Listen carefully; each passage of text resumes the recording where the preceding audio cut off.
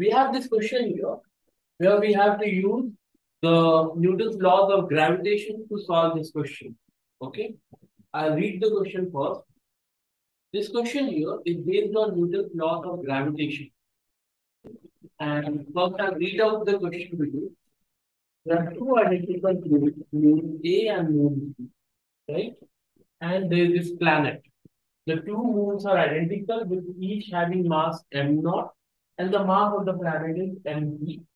And the alignment of the moon and the planet is like this. They are along a straight line. So then we have to answer the following question. The first question is saying that these two dots, if we consider them to be the planet, we have to draw and label the forces exerted on moon A and moon B. And we have to represent that using an arrow, right? So the whole thing is based on the basic Newton's laws of gravitation. That is, if there are two bodies, this is body one, this is another mass. There are two masses. This one is having mass m1, this one is having mass m2, and if they are separated by a distance r, okay, the separation between them is r, they will attract each other. That is the Newton's laws of gravitation. M1 will be pulled this way due to the gravitational pull of M2 and vice versa, equal and opposite reaction. So they are pulling each other with the same force and how much is that? G, the force of attraction between them is G that is the universal gravitation constant. It has a fixed value times M1 times M2 upon R square. So this is the basic thing that we have to know in order to answer this question. The force is that of pulling, it is attractive in nature. One body having some mass pulls another body with some mass. So let's try to answer the part A here for this question.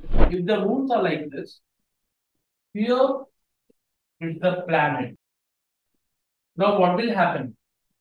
On the moon A, moon A will be pulled by the moon B and the planet, both of them, right? So on the moon A, I can draw two forces. One is the force due to the moon B. And there is one more force that is due to the pull of the planet.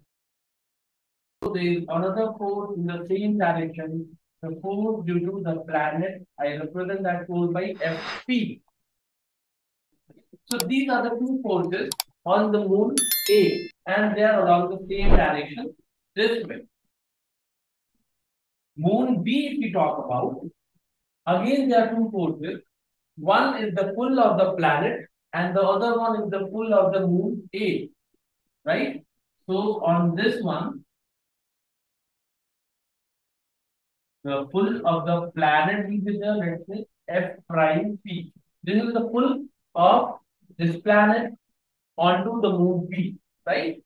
And the other force on B is the pull due to the moon A. So I can say this is this way, force due to the moon A let's say Fa prime.